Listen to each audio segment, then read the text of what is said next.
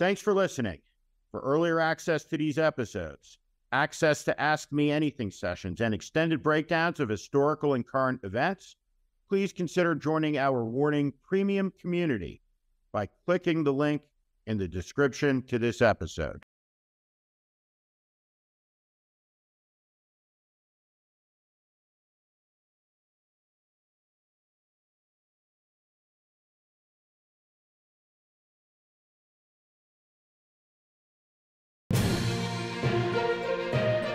According to Bloomberg News, this weekend has been another very difficult one for the disintegrating Ron DeSantis campaign. Let's read from the story by Bloomberg's Nancy Cook. Ron DeSantis promised a reset of his presidential campaign. Many of his campaign staffers are still waiting. Several aides believe the Republican candidate's bid lacks a coherent strategy and message. According to people familiar with the campaign, the operation is disorganized, with different teams pursuing their own agendas and little communication between groups, said the people familiar who requested anonymity to discuss the campaign's inner workings. There's a couple of things going on in that paragraph. First, the Ron DeSantis campaign is disintegrating, and the evidence is the leaks. Nancy Cook's anonymously sourced story makes clear that the voices from inside the campaign expressing such worry are the very people who are responsible for the campaign reset, the Ron DeSantis staff. But they feel siloed, disconnected, and disorganized. One of the things that happens when a campaign starts to disintegrate is the leaking starts. It marks a collapse of discipline, of teamwork. And the Ron DeSantis campaign has reached that pathetic stage. It's important to remember Ron DeSantis isn't running to be mayor of Tallahassee. Ron DeSantis is running to be president of the United States. He is a micromanaging freak show, to say the least. Ron DeSantis has never managed anything, never run anything, besides the state of Florida, which he's done, well, let's just say ineffectively for the last five years. Despite his 20 point reelection bid, what Ron DeSantis has done is declare war on the state's largest employer and stoke a jihad against the educational system in Florida. Now, Florida voters may like that a bit, but it's not effective leadership. This incredible paragraph details what a sorry manager Ron DeSantis is. Even posting an official message on X, the platform formerly called Twitter, is rife with bureaucracy, according to the people briefed on the communication strategy. The governor and his wife, Casey DeSantis, must personally approve many of the messages, a process that can take two days and can slow their ability to respond to campaign developments, they said.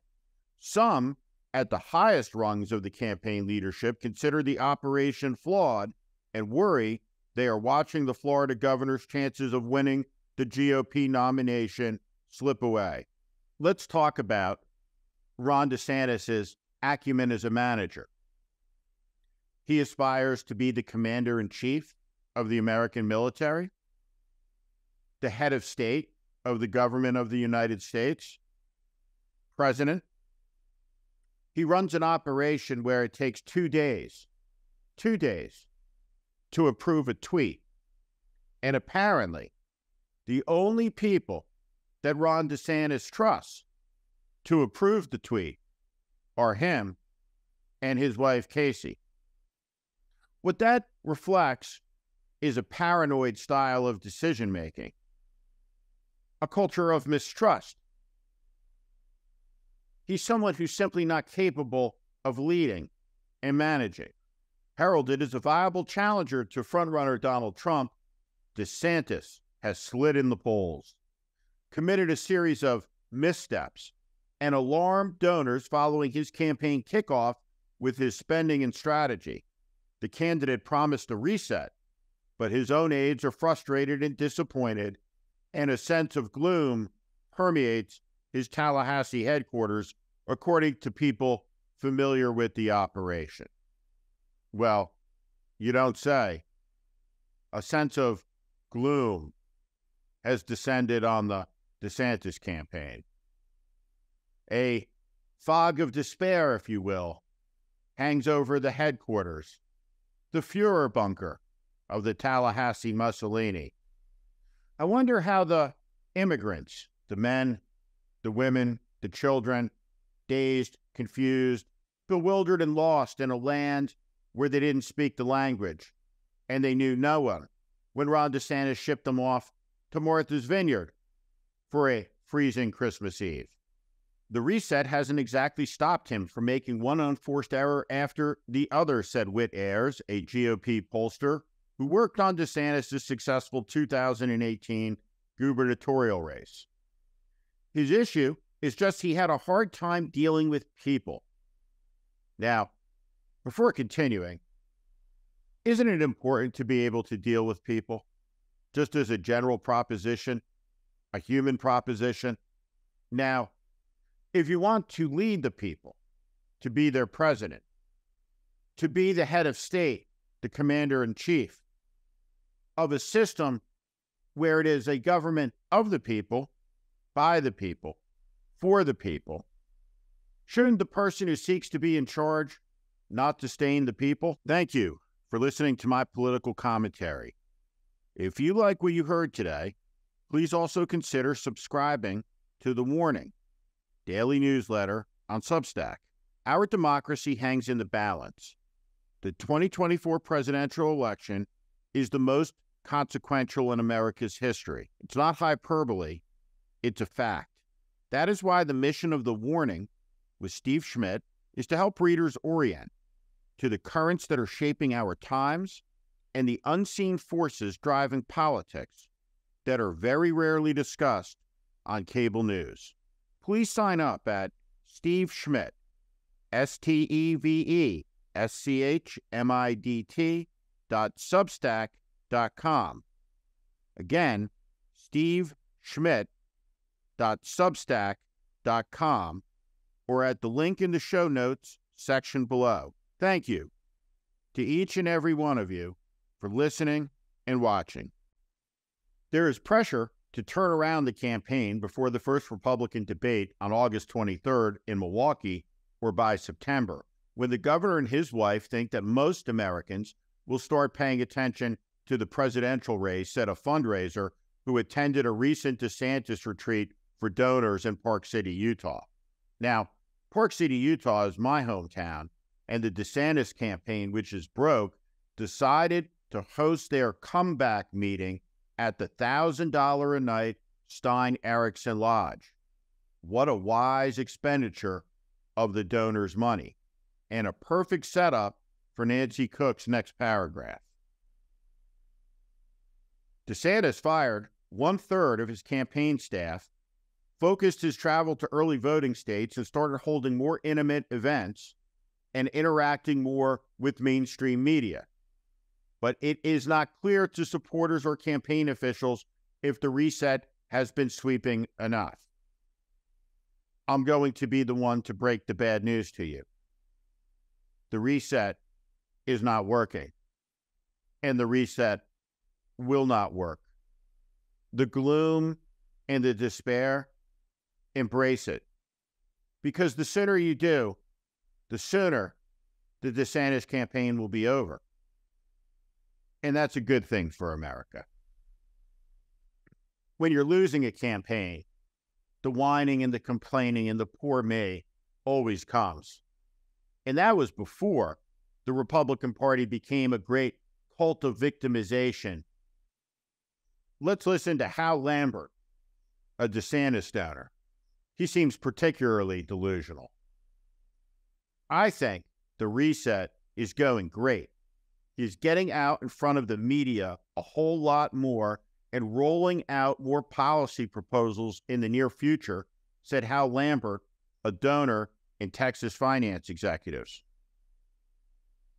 Some campaign officials want the reboot to go further, donors and allies are urging the governor to stop talking so extensively about his record in Florida and culture war fights and broaden his message to appeal to the concerns of voters in places like Iowa.